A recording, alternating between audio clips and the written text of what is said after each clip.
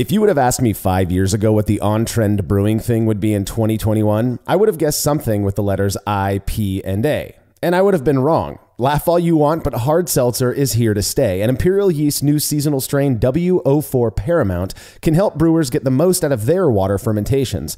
A clean and aggressive fermenter, Paramount will produce an excellent seltzer with low fusel alcohols, plus it's gluten free. If you've tried making seltzer with standard ale or lager strains, you know the struggle. And Imperial Yeast is here to help with W04 Paramount. Learn more about this novel strain at imperialyeast.com and pick up your W04 Paramount before it's too late.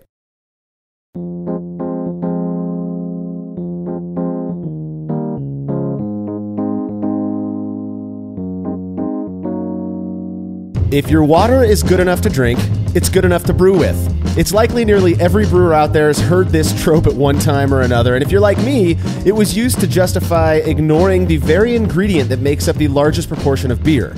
Well, over the last few years, the general perspective about the impact water chemistry has on beer appears to have shifted a bit, something that seemingly corresponds with the development of a particular style.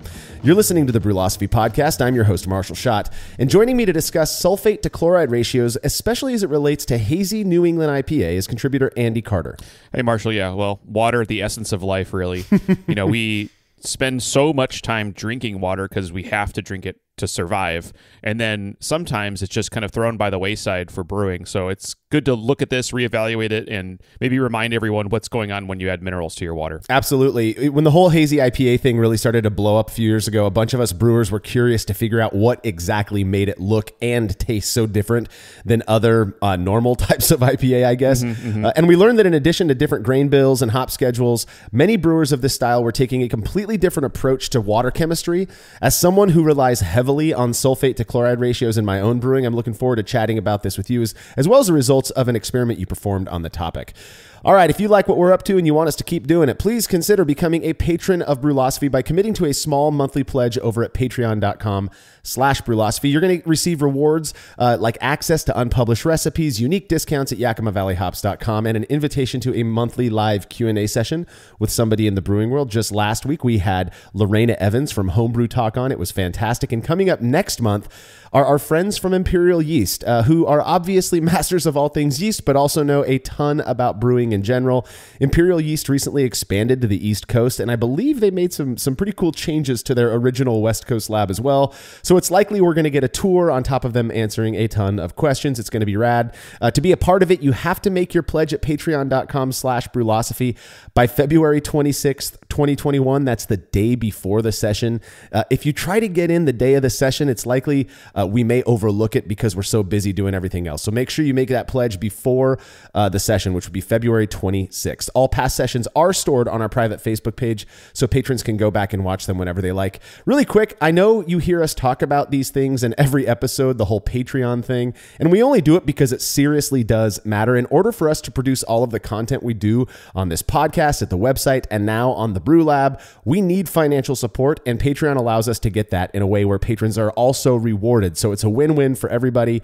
If you like having all of this content for free, toss in a few bucks a month and I promise we'll keep producing it.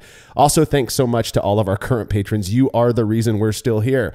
All right, if you wouldn't mind letting us know what you think about this show by leaving a rating and a review in Apple Podcast or wherever it is you listen to podcasts, we'd really appreciate it. By doing so, those who haven't heard of us yet can more easily find the show.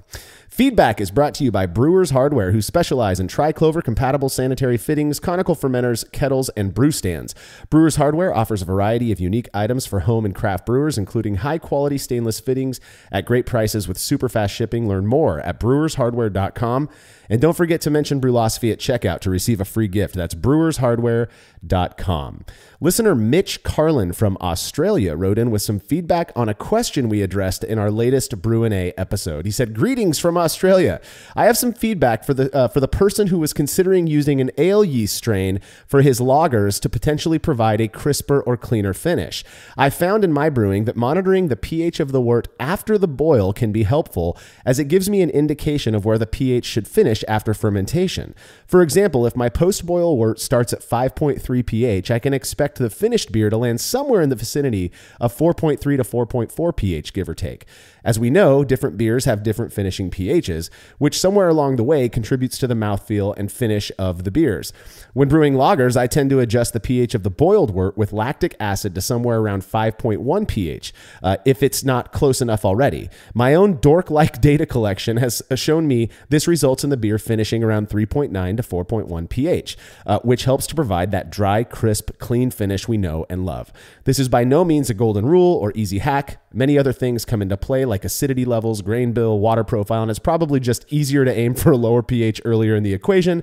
But it could be room for exploration if the brewer feels a bit adventurous and has already tried other methods. Now, if I recall correctly, the person Mitch is referring to from that Brew and A episode was actually asking about using ale yeast to make passable lagers. But still, mm-hmm. I think the feedback's pretty interesting.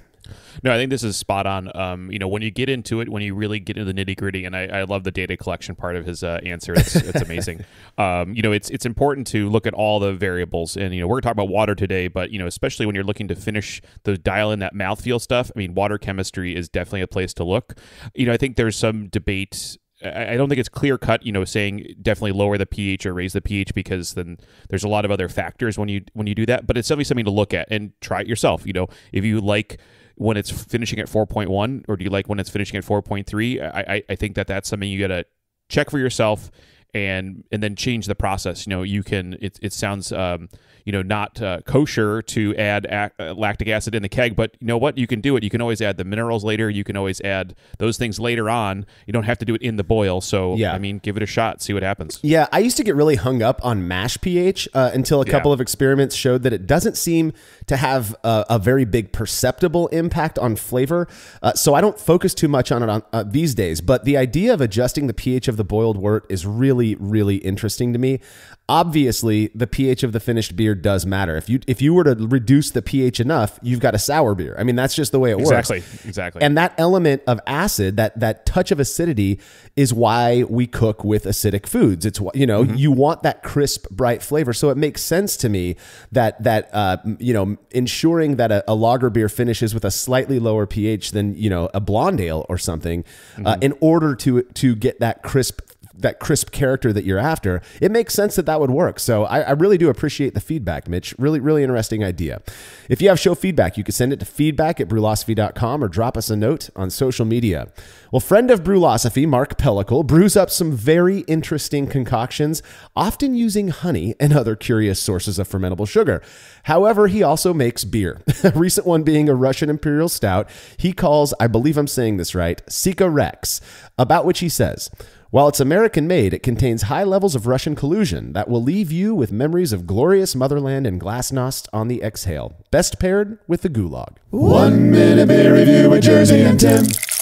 What are we drinking? Coffee? You know, yeah. this is as stout as it gets. I love it when we see dark beers like this because I'm like, it's gonna be only one of like two things. Like our chances of successfully knowing what it is go up significantly. Look at the head on that. Who said it? It starts out dark. It's like perfect dithering of of the colors.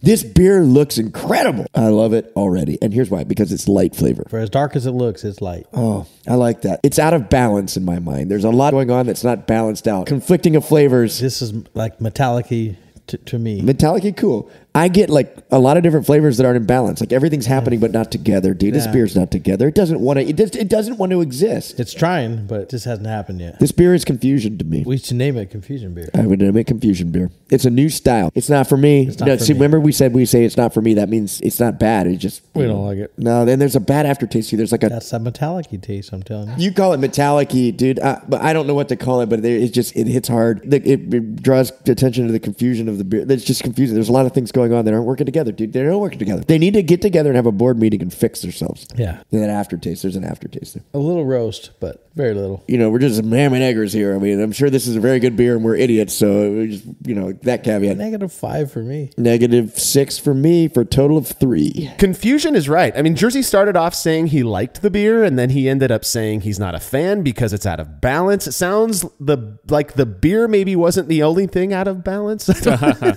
it's a. It, I don't think think I've ever heard of a Russian Imperial Stout being called light.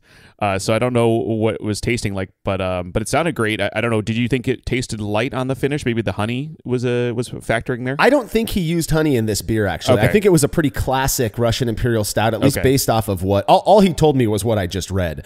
Uh, Got it. But but it didn't have a real uh, like a honey flavor or anything. Mm-hmm. Uh, so I'm not a huge fan of huge beers in general, but but I did think this beer was pretty. I thought it tasted pretty good oddly enough, I get what the guys were saying about it having kind of a lightness to it. It was it was kind of thin bodied, which maybe he did use honey in it and that's what that's how it got that way but you know you drink a russian imperial stout and it's usually kind of thick uh, kind of viscous in your mouth this yeah. was not that it was it, it was almost as if it wasn't, you know, 10ish percent ABV beer. It was like a, a normal, uh, it was, it was an interesting experience. So I get what the guys are saying there, but I thought it tasted good. I don't quite understand the out of balance unless what Jersey was referring to is the, is that mouthfeel component. Sure. Uh, thanks again, Mark, for sending everything in that you did. We've still got plenty to get to. If you'd like to have your beer or any other fermented beverage you feel like sending in reviewed by Jersey and Tim, you can email me, Marshall at brulosophy.com, and I'll get you all set up. When we're back from this break, the focus will be on sulfate to chloride ratios in hazy New England IPA.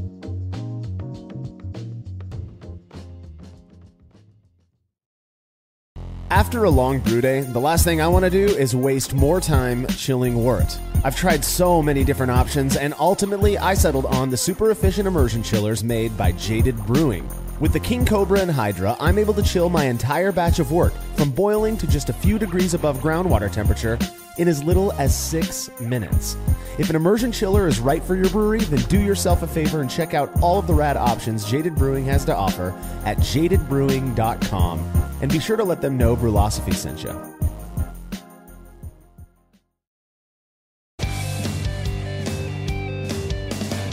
Compact and simple to use with a small footprint for brewing indoors, the Grainfather makes it easy for you to brew professional quality beers at home. The Grainfather is an all in one brewing system that lets you brew all grain beer in a single, compact stainless steel unit. It uses an electric heating element and pump to maintain a constant temperature and to circulate the wort during the mashing and cooling stages. It also comes with a counterflow chiller to reduce chilling times and produce high quality wort. And now, with the addition of their conical fermenter, the Grainfather takes things one step further by offering homebrewers state of the art temperature controlled fermentation just like commercial breweries use. And with the Grainfather Recipe Creator and Connect app, you can easily design a recipe, sync your brewing system with your phone, and then just sit back and relax as the app takes over and assures that you maintain your scheduled mash temps and boil schedule. Head to grainfather.com to purchase your all in one brewing system today and to sign up for their free recipe creator tool. Once more, head on over to grainfather.com, that's grainfather.com, and get started today. Family owned Atlantic Brew Supply is the largest homebrew shop in the Southeast. No gimmicks, no multinational corporate overlords, and no BS. They offer exclusive malts, yeast, and more from local artisans, as well as award winning recipe kits. They also sell professional brewing gear and cask equipment from sister companies ABS Commercial and Cask Supply. Most ingredients are available by the ounce, plus, Atlantic Brew Supply has an on site calculator to help you craft your best brew. Orders are processed same day, and two day shipping is guaranteed for East Coast customers. Get 15% off your first order using promo code code BRUPOD. That's B R U P O D at AtlanticBrewSupply.com.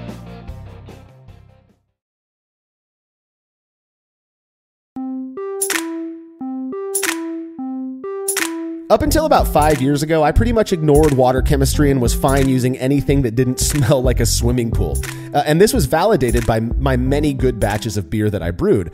Around the time hazy versions of IPA were growing in popularity, I got into a friendly argument with a buddy of mine who ultimately challenged me to do a water chemistry experiment that ended up coming back with significant results. Now I'm a hands down hardcore believer in the importance of water chemistry for as a, as a tool for adjusting uh, the ultimate character of beer. Let's start by going over what exactly it is we mean by water chemistry. Yeah, yeah. So when you make your recipe, you know, you're talking about water, malt, hops, yeast. The biggest p- component of that by far is the water. Uh, water, you know, you know, it's H2O, so that's what water is by itself. But you almost never find water by itself like that in nature. Uh, water is constantly having things dissolve into it, uh, evaporate out of it, um, and so you you rarely find it just by itself. And so what is in water, uh, commonly found in water, are minerals like calcium, chlorine, uh, s- uh, sodium, and such stuff like that. And all those things together play a role in brewing, anywhere from direct flavor impact to yeast nutrient health to uh, mash quality and things like that. So today we're going to just go through all those and break those down and what are important, and then get to that really what this this talk is about, which is what we mean by sulfite to chloride ratio. Yeah. So so water the the when you think of minerals, a lot of people say salts, you know, water Yeah. salts, and that's I think that's kind of an old school term. It makes sense, you know. I guess Mm-hmm. Yeah. minerals are salts, Well, but yeah, water, yeah, water minerals or salts come in two things: a compound, a cation and an anion. Right. And we always come together in pairs when we add them. They exist, you know, dissolved in the water separately in ratios, but when we want to add them. Salts is a common phrasing. We, you know, table salt is the colloquial term for sodium chloride, Right. but the salt is the the compound. Yeah, and the, the the whole table salt thing is the reason I moved away from calling them brewing salts is because I don't want Yeah. people to get mixed up and just go throwing. I mean, which you can use table salt in brewing. A lot of Yeah, people yeah. do. It's it, it's very effective. Um, but I, what I was going to say, just speaking of water on its own, I was in New Zealand a few years ago. I had the a pleasure of visiting that gorgeous country, and in Wellington there is a like a spring that people go to, and they they get fill up their bottles of water, and it's just constantly flowing in the like city center. It's really cool. Well, well, what's so amazing about that water, and what the what the locals will tell you is just how good it tastes. Why does water taste so good compared to other water if it's just water, right? To me, that was the, one of the biggest aha, dumb aha moments that I had was, of course, water chemistry matters.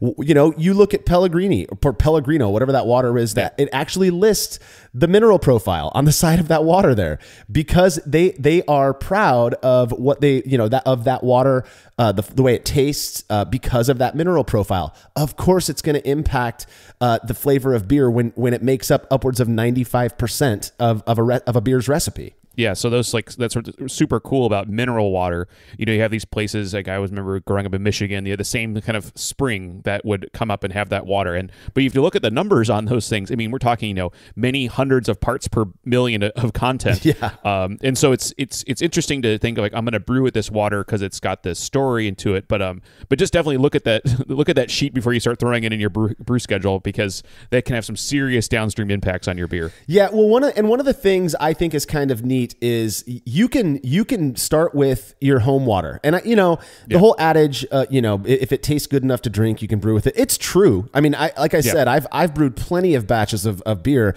that were that came out really well, won awards, all that, without even worrying about my water. And what's neat about that is you can tweak your recipes, maybe without even really knowing it, but you can tweak them to fit the water that you have at your house. I had a buddy when I was up in Bellingham who would brew wherever he lived was getting completely different water than I was, but he would brew pretty much just dark beers. And the and his reason at the time was I just make them better. I'm just better at brewing these beers. Well, come to find out, his water was really hard, uh, and so those, that just happened to work really well with the darker styles of beers that he was brewing. Um, and you know, and there are we're, we're going to get break down the the main brewing uh, minerals here in a sec, but there are certain uh, water profiles that are believed at least to do better in certain styles of beer, such as hazy IPA, and I think that's why uh, people have started using these. I would contend kind of unique for the style profiles. Uh, so let's let's break down a bit the the main the five main uh, brewing min- minerals in water that that are important in brewing. I think the first one is calcium. Yeah, calcium. So calcium can be added a couple different ways. I think the most common one is in a is a gypsum calcium sulfate. Um, you know, calcium is it's just interesting. You know, you get it because it comes along the ride for the other mi- uh, mineral you want, uh, but it helps.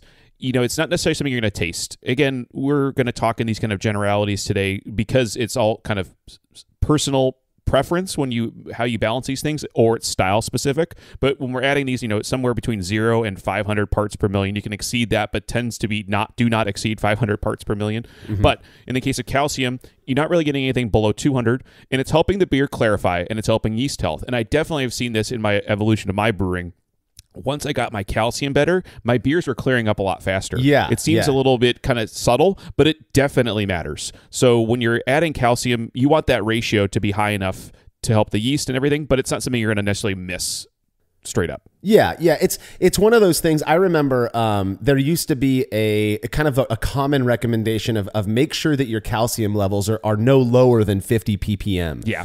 Um, and and then I've heard people say they, they prefer no lower than 100 ppm. Both of those are you're well within safety range there. I mean, you're not you're yeah. not going to get a chalky flavor or anything from that. I've noticed the same thing, and to me, it's almost counterintuitive because calcium. You think of calcium, you think of a white powdery substance that would, you know, ostensibly make something look murkier, but it does. It really, it's a, it, it helps with yeast flocculation. Uh, It helps to beers tend to clarify faster uh, when your calcium levels are in the right range. And like you said, it is contributed uh, by numerous other compounds that we use uh, in brewing. Um, real quick, I, I want to do a quick delineation because we're going to talk about sulfate here in a second. Yeah. Uh, it, it, it is so commonly misspoken as sulfite, and, and those are different. Sulfates and sulfites are different. They're both sulfur based compounds, so they're, they, it, makes it makes sense. Sulfites, uh, which usually comes in the compounded form of you know potassium or sodium metabisulfite, are used as a preservative. so Yes. you add those to, for example, wine or to cider uh, to knock the yeast out. It basically shuts the yeast off from metabolizing sugars. If you hear us misspeak, it's just because there's it's one letter difference and we're just not you know we're talking too fast. So I, I wanted to get that clear that up and get that out of the way. I know Malcolm and I got into a conversation about it a few years ago on the show. We uh, we have the same one in my field, uh, electrical engineering. Uh, you know, computer chips are made out of silicon, not silicone, and it's very common for people to say silicone. And I've actually seen very famous people give talks and accidentally say silicone, not silicon. So you know, it's okay. We we we understand. Silicone is for baking stuff in, right? Or like Exactly. yeah, yeah. Correct. It's a it's like it's a plastic. It's a it's an organic plastic. Silicon is an inorganic molecule. Uh, you know, element. So- Yeah, yeah. So the next compound, and, and this is one, this is actually a mineral uh, uh, that that I feel like doesn't get much focus in brewing these days, but I'm starting to see it, the see it talked about a little bit more as magnesium, Yes. commonly contributed to beer in the form of magnesium sulfate, which is also known as Epsom salt. Correct. So yeah. So again, magnesium. It's in these low levels, and I, I know sometimes we anthropomorphize yeast as a, it needs its balanced diet of, of micronutrients, much like humans need. You know, trace minerals. That's and, you know, right. If you you know you, you you can take your vitamins and stuff, but generally, if you eat a balanced diet, you're going to get all these minerals. So, and again, it's riding. It's along for the ride for other stuff. I always add it. Though I think there's two interesting cases I've heard of um, c- cropping up these days. How the other i- impacts.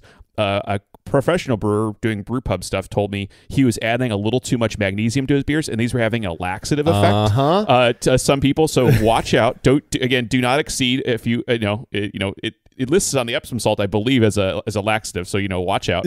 Uh, second thing is, and people are doing more. I think I think getting a little deeper, and it's actually going to impact our discussion of hazy IPAs a little bit. Yeah. is hazy IPAs tend to age more rapidly. They they take on color more rapidly, and um, they can just look bad if they're not packaged well. You know, we we at Brülosophy really focus on that downstream cold side packaging stuff because of that impact. Uh, but there's actually another thing is that these mi- these minerals like magnesium or or or metals can actually impact that increasing that that aging process. Um, there's looking into the the uh, grains themselves have too much of these uh, compounds in them that can create that color. So I don't know if magnesium's been traced back yet to adding to the color changing of it, but it's something to think about. Uh, in general, again, this is a long for the ride type of thing. Don't add tons of it, uh, but you know a little bit will help out. Yeah, well, and uh, again, uh, magnesium sulfate. So by using, if by adding a, a touch of Epsom salt, you, you are going to increase your sulfate levels, uh, which which is known to or widely believed at the very least to emphasize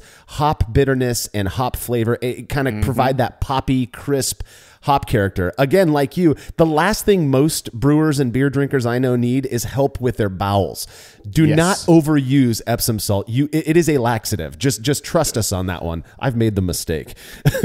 you don't want to do that. Uh, we already mentioned it earlier. Another, another common one is sodium. Uh, that is a mineral that that people use in their beer. Sodium, obviously, you add a sprinkling of table salt on your steak, and it makes it taste way better. It can do the same for beer. In fact, we've got experiments on that as well. The most most common source of sodium that I'm aware of in brewing, uh, sodium being Na, you know, the the that's the periodic element, uh, is table salt, which is which is uh, uh, sodium chloride. And when you use something like table salt, you're also adding a little bit of chloride. Yeah, yeah. So in general, sodium is always going to be in the background, even when you do these filter filtering mediums. You know, one of the ways of doing saltwater softening is to exchange the minerals for sodium. So you know, some people that have water softeners at home, you're going to add a lot of sodium. So you want to watch out there. Um, you know, it's it was reading the books. You know, there's a great resource. It's kind of always on my bookshelf, the Colin Kaminski, John Palmer Water Book. It's got all these descriptions and things, and you know, their recommendation or at least their numbers were saying, you know, don't exceed 150 ppm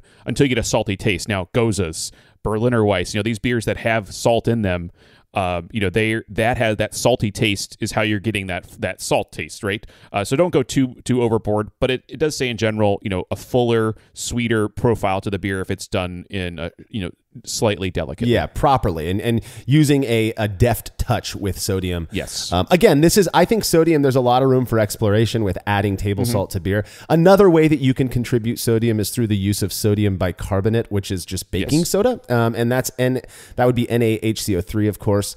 Uh, baking soda again will contribute noticeable levels of sodium if you use enough. The thing about baking soda is it doesn't really dissolve very well, uh, so you just want to you want to make sure if you're if you're if you're looking to use to up your bicarbonate levels, you might want to find another source for that.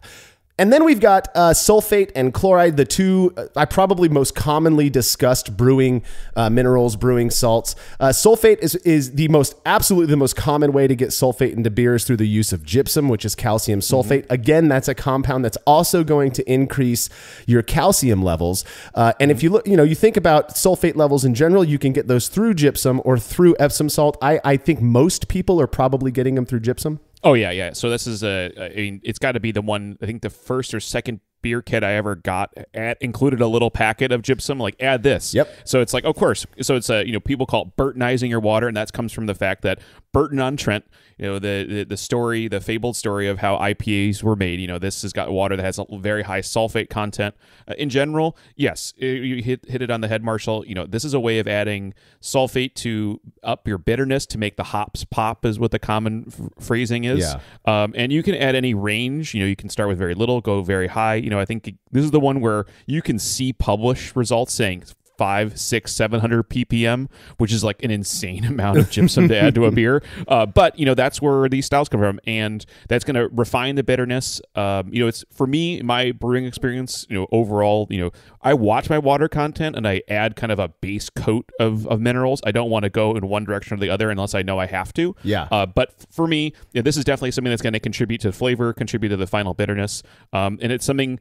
You know, this and chloride are the two places to really dial in a recipe when you're trying to make it your beer. Yeah, there there are a lot of approaches to uh, adjusting your water chemistry, and uh, you know a lot of them will. There, there are people who like to match, for example, a regional profile. I, I'm not a big fan of that. I feel like there's, I, you know, a lot of the the regions that have beers that they're known for, whether that's you know Czech Pilsner or you know Irish Stout. Those regions just happen to have that water, and it just so happened to work for that style of beer that they're making. Um, You have the ability as a brewer to to make whatever water you want nowadays with our modern Yep. understanding of how this stuff works. Uh, so so. Sulfate is, like you said, Andy, is the is the one of the most commonly used uh, minerals or discussed minerals, and by adding gypsum, you are you're you're what is believed to happen, and I think a lot of us have experienced this. Is it adds this element of crispness? It it pumps up that brightness of the hop character. You get that added calcium, so you're contributing to the yeast nutrient. You're contributing to the potential clarity of uh, of the future beer. The other mineral that it gets a lot of focus is chloride. And I, I don't think it's fair to, to view sulfate and chloride necessarily as opposites, but in many ways, they do kind of opposite things. Yeah, yeah. So the common uh, uh, belief, phrasing, you know, uh, experience is that chloride is adding a fullness or a sweetness. So it's a it's a clear delineation, and I think it's fair to talk about them as opposites, but of the same coin. They're they're going in different directions. They're doing different things, but they're all kind of generally enhancing flavor. Yeah. Uh, like we mentioned earlier about acid in food. You know, if you're making a tomato sauce and it's kind of little plain, squeeze a lemon, boom flavors are popping. So this is how we're, we're playing the game. So chloride is tr- contributing to a fullness or a sweetness. In general, you don't add it nearly at the the you don't see the rates nearly as high. Just I think this is just from the fact that it doesn't dissolve qu- quite as well as uh, sulfate does into waters and stuff. But you're seeing you know anywhere from 50 to 200 parts per million. Um, you can exceed that, of course, but I think that's eventually going to throw off other things. And again, when we add these things, they're always added as a salt. Yeah. So when adding chloride is calcium chloride. You know,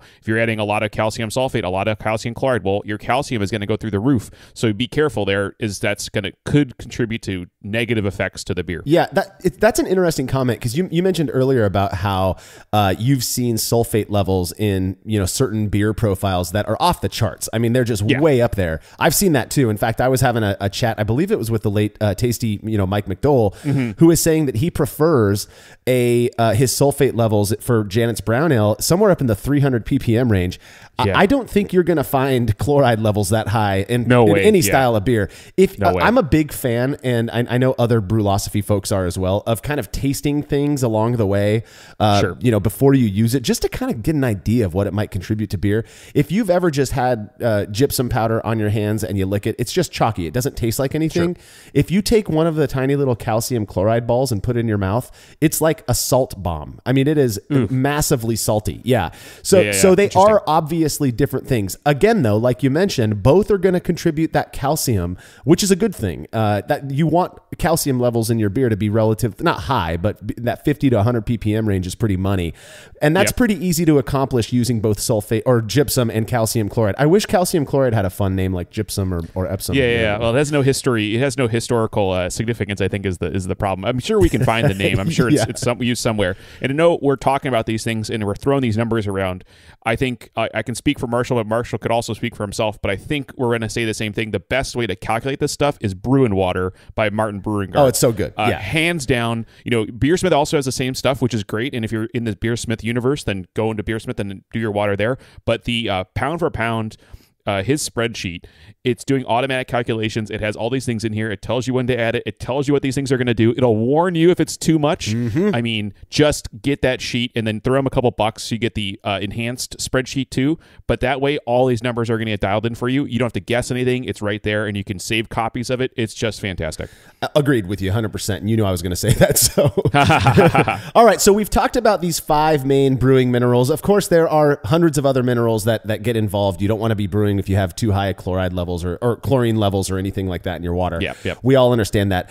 One of the most common ways, and I will admit, it's the it's it's most it's mostly the way that I approach uh, brewing water nowadays myself, is to look at the ratio of sulfate to chloride. We talked about you know not really viewing the two as being opposites, but there is this idea that the ratio of your sulfate to chloride in the water that you're starting with has an impact. Now, there's an, also an argument that says that that ratio is, um, how should I say this? That, that the ratio is what matters, not the overall amounts of the minerals. So I was trying to find where this started because I, I can't I had a memory of trying to put all the pieces together and I, I thought this was started by a certain person. I can't find an origin story. Yeah. I do have a good there is a good description, a good breakdown of this in the water book. I, but I remember bloggers talking about this, you know, a decade ago. So it's it, you know I'm not sure, but in general, the ratio is is a balancing act between going towards the more bitter, the more crispy, or the more soft, fuller, sweeter. Right. And so those are kind of the the dial. But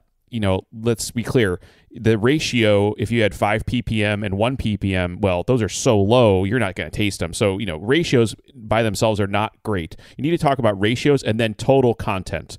You know, so if we're wanting to get somewhere in the, you know, 50 to 150 ppm range, when you add them together, you should get around 300 ppm total. So, you know, you got to start there and then think about what you're doing. So the total amount matters and the ratio matters. Well, there there are those though, Andy, out there who would argue, who have argued that the ratio is really all that matters. Now, obviously, there's kind of this happy middle area, and we're Sure. talking like, okay, if you, if you want a ratio, for example, a standard West Coast or uh, what I call normal IPA, American IPA, clear IPA, it was pretty common uh, to go higher sulfate levels, Yep. relatively low, uh, you know, chloride levels, to the Mm-hmm. point of the ratio being somewhere in the you know five five to one range. So you'd have five yep. parts of, of sulfate for every one part of chloride. Well, that ends up looking, if if you if you go with what Tasty was doing, a 300 you know ppm of sulfate, one fifth of that would be your chloride levels, or even lower. I mean, I, I brewed so many batches of clear IPA that I didn't add any chloride to whatsoever. I was just mm-hmm. adding calcium sulfate, gypsum, to up my calcium levels and to get that really bright hop character.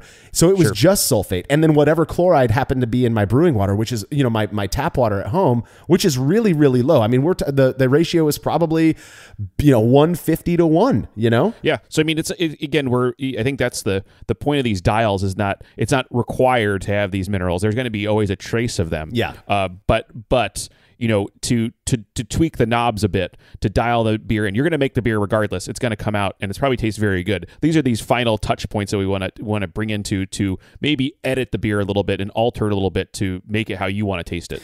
Yeah. So, and this is uh, this is where we can talk about hazy IPA now because Yeah. when this style, which is a trend bucking style that became the the trend setting style, uh, it, you know, you see all these hazy beers. They're known for tasting juicy, uh, having a softer, pillowy mouthfeel, as people like to say. What causes this? Well, you know, everyone's poking around. It must be the use of, you know, flaked adjunct grains. It must be uh, the way the hopping, you know, the approach to dry hopping these beers or late hopping them in the kettle. All of this stuff. Well, one of the things people started to notice was that the water profile, a lot of the more successful hazy IPA brewers were using, favored chloride over sulfate, which is again, that's the exact opposite of what we're doing out here on the West Coast to make our clear, crisp IPA. They were they were using a water profile that looked almost more like something you'd find in a British ale. Yeah, yeah. So the interesting there thing there is if you look at that style, and I think what you have to go back because of all styles, it's like it's a it's a kind of a market reaction. It's consumer demand in those beers. The fundamental concept of a New England hazy juicy is that it's not as bitter, no nowhere nearly as bitter, and it's focused on the expressive hop flavor. You know, the big hop punch. And then if you're trying to you know paint that picture. If i'm looking at all my little where where what knobs i can turn okay well they got the flaked oats okay. I got very late hop additions almost no bittering addition okay. Good low bu and then it's like well the water let's look at the water. The chloride well we just described it softer fuller sweeter okay. This are all the things we want to do Yeah. to drive that flavor. Okay let's do that and see where we end up. And yeah so this drove people to maybe not to ignore the sulfate but change the ratio to provide the experience desired Yeah, yeah. I um I was talking with some folks years ago who were who were exper- you know, homebrewers who were experimenting with this this kind of newfangled style at the time, and they were they were messing around with with ratios that were in the one to five range as opposed to 5 to one, right? So one part sulfate to every five parts chloride, with that chloride getting up into the 150 ppm or so range. Yep. Um, again, you've got that great calcium content by adding calcium chloride. You you have a very low sulfate. Uh, I most of the New England IPA brewers that I'm aware of these days, uh, at least the ones that I've talked to, I do believe add a touch of you know uh, gypsum as well. So they, Sure. they are they're more into the balance thing as opposed to us crazy West Coasters who just wanted crisp, bright, you know, poppy, Yeah, yeah, yeah. bitter beer. Uh, but yeah, you think about what chloride is has has historically been used for in brewing, and it's to uh, provide that rounded malt character, that soft, Mm-hmm. pillowy mouthfeel. Uh, th- that is exactly what hazy IPA brewers are after, and so it makes sense that they would experiment with that, and and it just so happens, it would seem at least, to have an impact on the character of that beer. Yeah, absolutely. Yeah, I think there's there's a lot of re- things you know we've been talking about hazy IPAs forever. Uh, yeah, they're they're here and they have you know there's been different iterations of them. I I, I do find them to have a bit of bitterness just because the the hop load is so high. Yeah. um, there's no way to avoid that. Um, but you know, it's it, the one when they're done well, when they're done correctly. I think they're they're just as good as a great West Coast IPA, and and I have to attribute some of that to the water chemistry choices. Yeah, I uh, it, it, for for anyone who who's wondering what uh, uh, the difference really is between a, a- like a high sulfate and a high chloride beer, make a make like a just a mild, a British mild, and and go a little bit overboard on your on your chloride. The experience that I get is like what I've I've told people, and I don't think most get it, is like a warming in my mouth, not not not like alcohol warming. It's like this. Um, it- it's like a weird wash. It, it, this warmth washes over my palate and kind of sticks around, and it's it's a really odd experience. I've not been a huge fan of it in general, and so it makes sense that that you know. Uh, uh, hazy IPA isn't something that I'm necessarily clamoring after. And a part of it, I think, is because the experience I have when drinking it isn't that crisp, bright, sharp, you know, clean character. It's that it's that juice like when you drink a glass of juice and it sticks in your mouth. I don't drink much juice for that reason, you know. So I do I do have to wonder if chloride isn't contributing to that. Well, over the years, we've done quite a few experiments looking at water chemistry, one of which focused specifically on the impact sulfate to chloride ratio has on hazy IPA. Results from that when we're back from this break.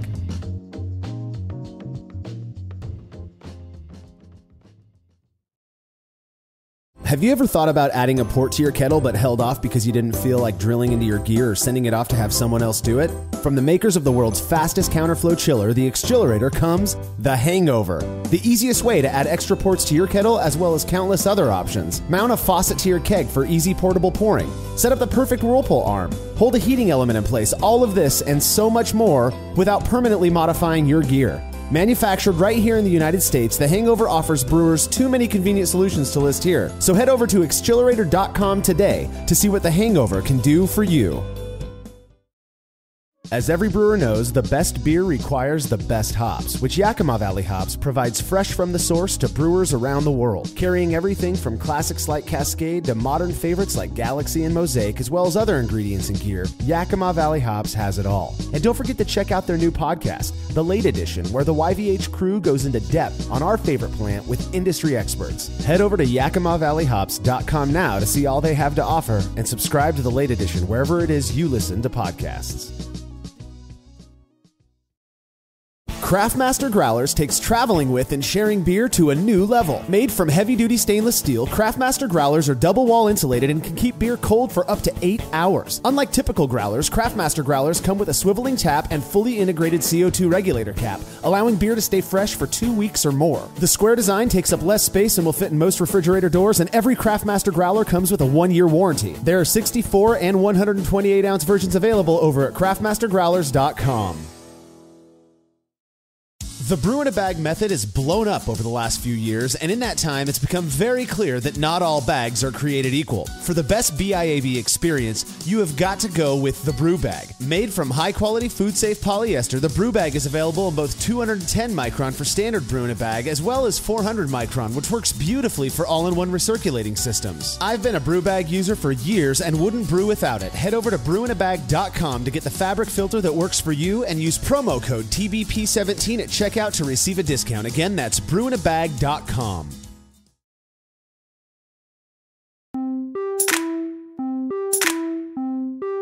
I know some people think it's absolute hogwash, and that's okay with me, but most of the folks I know who regularly brew excellent examples of hazy IPA rely on water profiles that favor chloride to sulfate, as we discussed earlier, which is opposite that uh, of what you might find in a normal, clear American IPA. Curious to see for ourselves, Andy, you put it to the test. Yeah, so I've uh, uh, I'm, I'm an old hand at this point at brewing hazy IPAs. uh, my friends wanted them, and I started brewing them. Uh, so you know, I've I I like the style. Um, I think of any beer I've had more in the last five years, it's probably been a hazy IPA from all examples from all breweries. I will say, I, I think the hit rate on hazy IPA, I, I, think there's more misses than hits. Amen. Uh, I, I, I think, uh, but you know, when it's like when it's done right, I, I think it's really tasty. I think uh, the guys I like the most brewing them have dialed in their process. They're much more consistent. Uh, but you know, I usually if I'm at a brewery, I'll try their hazy IPA, and if Mm-hmm. it's good, I'll get another one. I'll probably switch to something they're probably better at. So I'm with you on that one. In fact, I, I I usually when I go to breweries nowadays, I, I I like to try everything they have on tap. So I'm the weirdo who orders a, a flight, and I know that some people poo poo that, but I love getting flights, and then I'll pick from Oh, there yeah, what I love want to get a pint of. Um, I mean, it's obviously it's been almost a year now that we've been able to do that, but we haven't been, haven't, haven't been able to get a taster rack in a while. I can't wait for that day to come back. Exactly. Soon enough, man. Hopefully, it's here sooner than later. But you were interested uh, to explore this idea of sulfate to chloride ratio Yeah. in New England IPA, and you did. Uh, you brewed two batches side by side to test it out. Yeah, yeah. So what we're doing is going to start with a clean and correct, uh, juicy, hazy New England IPA. So we started. I always start all my brewing with RO water. So we looked at having one batch have 124 ppm of, of sulfate to 42 ppm of chloride, while the other one was 41 to 123. Those numbers, I try to get them as close as possible uh, using the minerals in Bru'n Water, and I was able to dial those in. And I do have this, the sheet here, my checklist for the day. So the uh, 124 uh, to 42 batch, uh, I started the with just gypsum and calcium. I just ignored Epsom salt completely. So gypsum and calcium chloride. Uh, the gypsum numbers were 4.2 grams in the mash to 2.94 grams in the boil, and the calcium chloride was 1.25 grams in the mash to 80 0.88 grams in the boil. And then for the other side, the 40, uh, 41 to 123, the gypsum was 1.4 grams in the mash and 0.98 in the boil, versus the calcium chloride was 3.65 grams in the mash to 2.56 grams in the boil. Yeah. So you can see that, you know, huge amounts of grams difference there. Yeah, well, that and also the you know people who are unfamiliar with adjusting water chemistry, uh, for a five gallon batch of, of beer, you you're not adding that much of these compounds, and you're getting quite the hit uh, in your ppm. Yes. It's really interesting. And just for those who are curious, who don't feel like doing the math, uh, Andy, you were aiming for ratios of about three to one and one to three. Yep. Uh, just just to be clear on that, and we tried to get those as close as possible, which is pretty easy to do if you have a, if you have a nice uh, you know uh, a scale. Yeah, exactly. Yeah, go to, go on Amazon. Th- there's tons of different scales. They da- go down to about a tenth to a hundredth of a gram, and I find them they work really well. They're battery operated. You fire them up. The one thing I will say, and I've I've been using the same scale for many years, is uh, these these minerals will corrode out the uh, the the panels. So maybe get um, I, I like to put them on like a piece of aluminum foil, so Yeah. not ruining the panel. Or you can get these little dishes that will not really affect the scale very much. They're very lightweight, and then you can just pour those into your uh, into your kettle or mash tun. So they're really convenient, and I just say have them. You know, I get a bigger scale for hops, of course. You can use the small scale for hops too if it's you want to be really precise. Uh, but they're super easy, and you never have to think about it ever again. Yeah, if you if you go to Amazon uh, and you could use the Brulosophy link, we'd really appreciate it. You go to Amazon and you look for blade scale; they're like eleven bucks. Yeah. I've I've had the same.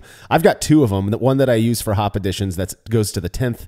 Uh, I believe it's a tenth, and the other one goes to the to the hundredth, and that's what I use for my water mineral additions. Super easy to use, super easy to add this stuff. It's not as scary as a lot of people think. So it probably took you about three minutes to Yeah. get to get your uh, water your your minerals all set for both of these batches. Uh, tell us a little bit about the grist for these, because because we know that New England IPA has a slightly different uh, grist than normal IPA. Yeah, yeah. So you know, I at home I have a sack of uh, usually have a sack of pilsner and a sack of pale malt around, and then I, I'm looking at the recipe. I'm, I'm thinking I was running a little low on both, so I combined the two. So 43% pilsner malt, 36% pale malt. Key here, 21% flaked oats. Yeah. Uh, that you know, very common to add that haze. The oats is also supposedly providing a softer mouthfeel. Yeah. Uh, downstream, we're going to talk about the dry hopping, and it, that is really where the that permanent haze is coming from. Yeah. Uh, but it is have the oats. So after that, we you know did the mash. So we do a mash at 149 Fahrenheit or 65 degrees Celsius. That was for 60 minutes. When the mashes were complete, the we started boiling the wort. In my house, we do uh, batch sparging. So I did the the, the first batch, r- dra- drained that off, and then did a batch sparge. Uh, once both of those were fully drained and mixed, you know, we did the mineral additions in the mash. I had the mineral additions for the other uh, for the boil at the beginning. I boiled the wort for 60 minutes. We did uh, combinations of cashmere, Amarillo, and Idaho 7, so six grams of cashmere at 45 minutes.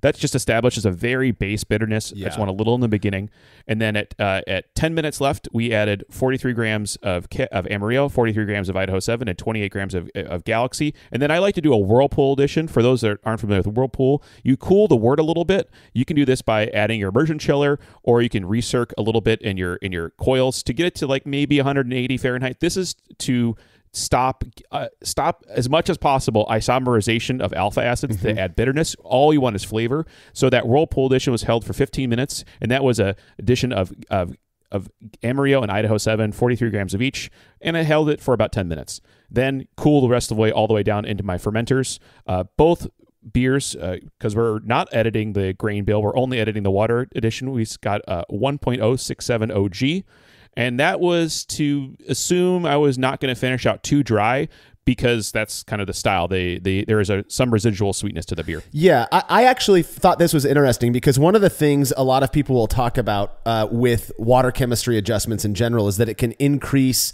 uh, conversion or have some sort of an impact on on conversion. In this case, the the different sulfate to chloride ratios didn't seem to have any. I mean, clearly they were both 1067 OG. Didn't seem to have any impact on conversion of starches into into fermentable sugars. Uh, they're both starting at the same spot. Yeah, exactly. So uh, after that, we put them into PET carboys, and I put them in my fermentation chamber uh, and set the chamber to 66 Fahrenheit or 19 degrees Celsius. After they reached that pitching temperature, I added a pouch of each to each of Imperial Yeast A38 juice. This is the prototypical hazy IPA yeast. Yeah, yeah. It's the Boddington strain, I believe, is, is where the original source was. So uh, once fermentation kicked off, about two days into fermentation, uh, with High Krausen, I added my dry hop to the beer. This was a combination of Amarillo and Galaxy. And at that point, you do it at that point. This is the common belief or common, you know, wisdom on hazy IPAs is that there's some type of biotransformation happening. So you're adding it at that peak Krausen. This will also, in my opinion, and I think this is pretty much the accepted opinion of where the haze is coming from. When you add that dry hop so early in the fermentation, that's when you're getting this polyphenol yeast kind of all getting all together, and that's when this permanent haze is going to develop, and that's what keeps that haze throughout the rest of the beer. Yeah, the the whole biotransformation thing I think is fascinating. I think we've done one experiment on it. Um, biotransformation is a real thing. Uh, we we know that it occurs in certain conditions and environments. There's a lot of uh, uh, I guess controversy, as controversial as things in brewing can get, uh, about whether it's actually happening in most New England IPA when you're by adding hops, uh, you know, during high krausen. To me, the biggest benefit of adding hops at high krausen is that you've still got active yeast to scrub any oxygen that's introduced at that Yes, point. yes, and so yes. that is a. I I feel like a lot of people nowadays are using that technique in part for that reason, but then also they'll come back later and add another dry hop because of course you can't add enough hops to, to these New England IPAs. Well, well, I can't sell a beer, Marshall, unless it's double dry hop. That's so I have to dry hop it again. so yeah, it's so fascinating actually because I think the biotransformation stuff really got people talking about what's going on in the fermenter when you're dry hopping. This led to the discovery of hop creep, Yeah. which is the fact that when you add hops to be, to a finished beer or fermenting beer, the finishing gravity was dropping after you added the hops, and that's because the hops themselves have enzymes on them, just like the malt does. And I was tracing this back. You know, you, can you guess the year the first paper or, or, or a paper was published that stated this? Marshall? Uh, no. 1905. 1905, was- really? Because because I, know yeah, that yeah. Sh- Dr. Shellhammer has talked a bit about it recently. Yeah, yeah, yeah. But I went back I followed the uh, the citations. They knew about this, you know, hundreds, hundred years ago, and then we had to rediscover it. It's amazing, Crazy. So, yeah, so uh, you know, I let the beer finish out, um, and so after another six days of activity was uh, all done, I racked the beers because I don't want the hops to sit on the beer or the beer sit on the hops too long. I think there's some neg- neg- negative uh, components of the dry hopping, and so I racked them into purged uh, cornies. Uh, they both had the f- same finishing gravity of 1.010. Again, uh, you know, we're not seeing any differences here that we could say were caused by the different sulfate to chloride ratios in these beers, which had you know markedly different water profiles. Uh, but but it didn't have any impact. Now we can say on enzymatic conversion of those starches, but also on attenuation. Um, I I think that's interesting information. I mean, I don't think there are many people out there arguing necessarily that sulfate and chloride are a huge contributor to these things, but I do think that it's it- it's at least interesting enough to point out that it didn't have any impact on those uh, aspects of, of this process so far. So after I racked them, we set them up to to carbonate, and then a few weeks later, I served them to myself in our COVID blind uh, technique. I did ten. I did ten trials where we take four cups uh, that look identical. I pour two of each. And then mix them up, and then grab three cups, and that that way I am semi-blind. I did ten trials. Uh, given our the, the peculiarities of COVID, doing it myself, and we try to pick a way of picking a number of how many should I have to pick to tell them apart. I would have to get seven seven out of ten times. I have to pair them correctly. I actually got them only four times. I could not tell these beers apart. This is this. I remember when you were telling us prior to putting this, uh, you know, publishing this experiment article, and I cannot wait again to get back to our normal data collection methods. I think all of us are excited to get there. But the fact that you, biased as hell, knowing Yeah. exactly everything you did to these beers, knowing what to expect because you are a knowledgeable brewer, the fact Mm-hmm. you couldn't reliably distinguish a high sulfate to chloride ratio version of this New England IPA from a low uh, ratio version really was surprising to me because we've gotten so many results, blind taster results, showing that water chemistry really does have an impact. Now, in thinking about why maybe you weren't able to do that, did you? I mean, I'm curious to hear what your thoughts are on how these beers tasted or what you recall of them. Um, but did you like have any ideas as to why maybe or how we could explain the fact that you were unable to tell them apart or Yeah, I, I have a couple theories, and I think this goes to the you know the how we do our ta data collection is, is critical.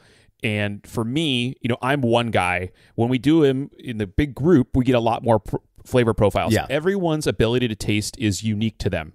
And that is critical for these things. You know, if everyone could taste it the same way, it would the data collection would be meaningless because we don't get any statistics. We need we need these numbers. So yeah. for me, for me, you know, I didn't get it. That doesn't mean that when we do it for twenty people, someone will pick it up. I, I think so. So f- it, it, I think it's maybe maybe me, but there's also the case to be said that with these beers, there's so much going on with them and so many other things, and especially for for for my palate for hazy IPA, the hop load is so big it really blows out everything else in the beer and i think that may have a con- contribution Yeah. So again, I'm gonna I'm gonna point it out again. The easiest scapegoat in this whole thing is you, is the taster. Oh, you're a terrible palate. You're just not good at Yeah. tasting.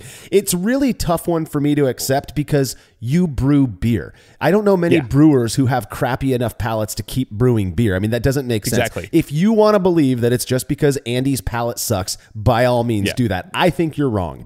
So to Yeah. me, if I'm if I'm going to arrogantly accept that it's not you, Andy, that's the Yeah. issue, that it's the beers just really weren't as perceptibly different as we might have expected, my mind automatically goes to, well, was the delta in those ratios really that Yeah. that different? Were those ratios as as extreme as they could have been? And when you look back back at past water chemistry experiments, usually we're testing an extreme. And I felt like in this one, three to one and one to three wasn't an extreme, which made it even more interesting to me because now we're looking and saying, well, what happens? You know, how how small does that difference have to be for you to still be able to taste it? And it seemed that in this case, at least with you, that that that smaller difference of three to one or one to three just didn't seem to have much of an impact. And like you said, all of that hopping character, that hop character, uh, uh, j- would could make sense to me that it might overwhelm any differences caused by the water profile uh, in this particular experiment. Yeah, absolutely. I, I think for me, it was very enlightening. Of course, I think all the ones I've done so far, even though they're just myself,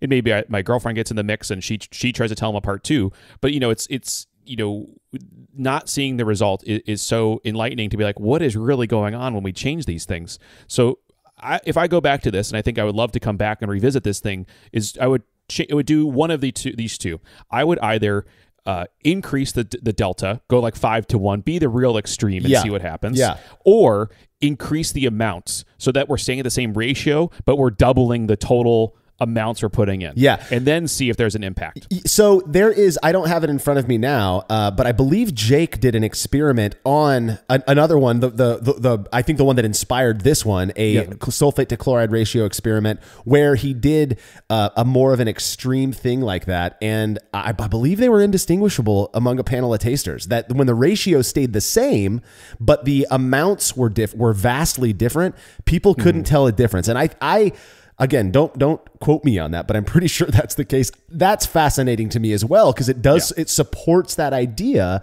that the ratio is what matters more than necessarily the amount. So well this was a fascinating experiment to me. I do trust your palate andy and so i thought i thought the results were very very interesting and so did a lot of our readers who left some comments. We're going to go through some of those now. The first one comes from somebody who calls themselves ro and they say do you add SMB at kegging? I know some at Do, and this would increase the SO or SO4, the sulfate level, uh, which would screw your water profile. Yeah, I do not. Um, I know Jake does, and he's actually really into it, and it's super curious to me. I've, he, I think he's published like five or six articles on that, and it's super cool because you know in beer making, unlike other styles of stuff, there's very little additives. Yeah, uh, I think the one we see a lot of it in is winemaking, mm-hmm. and it makes sense. Wine is made once a year, and it's make it or break it, man. It's got to survive. So they add a lot of stabilizers to make sure nothing crazy happens, and so it makes perfect sense for these styles where we're really trying to minimize oxidative pickup makes sense to me. I've not explored it yet. Um, I definitely want to get into that and, and see what happens, but um, I don't do it. So I'm gonna I'm gonna try to be uh, a little bit smart here because I, I I don't know if I have this exactly down. I'm not a chemist, but SMB is sodium metabisulfite. Uh, people use that again to stabilize wines, stabilize cider. I believe some people are even and by stabilize we're talking about to stop the yeast from fermenting so that you can add other things to it. It's a smart move uh, if for adding if you want to back sweeten with fruit and not have the yeast ferment it. It works So when you add SMB, it, it- what happens is, as it, I believe, uh, does its work when it whether interacts with oxygen or whatever it is, it breaks down into the various uh, other components, and one of the one of the results is sulfide, which is a uh, um, farty smelling. you know, Yeah. it smells like rotten eggs.